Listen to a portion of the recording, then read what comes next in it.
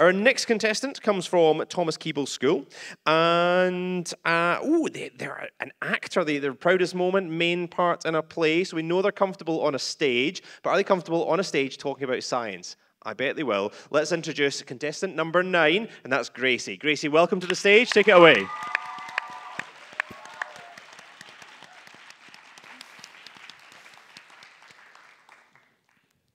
Memory, a word so ingrained into our species that it defines who we are. If we lose our memories, we lose ourselves.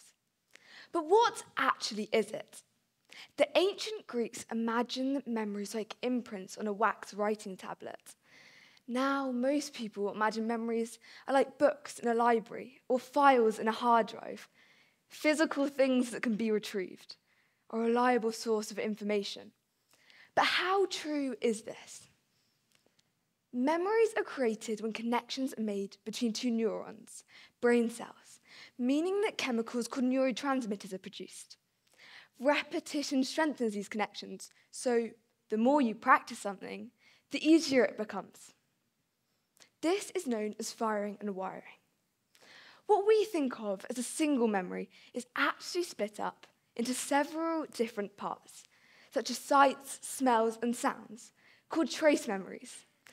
These are stored in different parts of the cortex in the brain, almost like separate pieces of a jigsaw.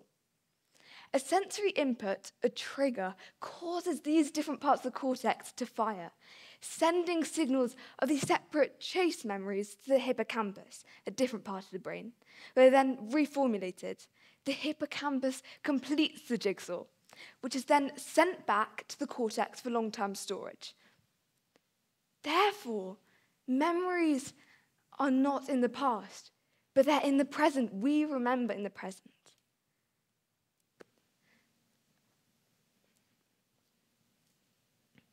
So, our memories are not some carefully verified libraries of information ready to be retrieved, but instead think of them like hundreds of faulty Wikipedia pages that can be edited or influenced by you or other people each time you access it.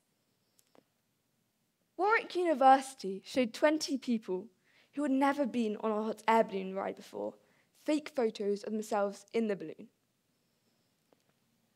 Over half of the people believed that they had been on the ride, and some even added extra details. Even more concerning, research in the US showed out of 300 wrongfully convicted prisoners, three quarters were convicted due to inaccurate witness statements. Our justice systems depend on people's memories, but can they even be trusted? So, the next time you have to rely on your memory, whether that be in court, trivial pursuit, or a heated argument, just remember would you trust your own Wikipedia? Thank you.